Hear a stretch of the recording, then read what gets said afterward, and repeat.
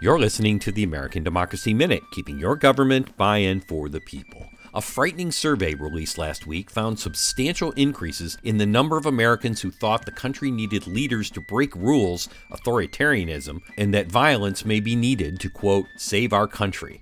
The majority of Americans still disagree with those positions, according to the survey conducted by the Public Religion Research Institute and the Brookings Institution. But 23% of Americans agreed with the statement because things have gotten so far off track, true American patriots may have to resort to violence in order to save our country. That's up 8% from 2021. The increase is among all partisan groups, too, including 33% of Republicans, 22% of independents, and 13% of Democrats.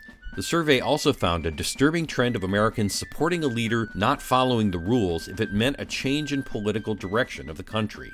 Four in ten Americans agree with the statement because things have gotten so far off track in this country, we need a leader who is willing to break some rules if that's what it takes to set things right. This bent toward authoritarian rule is not just among the 48% of Republicans who agreed, 38% of independents and 29% of Democrats concurred. Where do most Americans agree?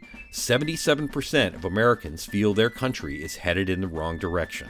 We have a link to the full survey results at AmericanDemocracyMinute.org. I'm Brian Beal.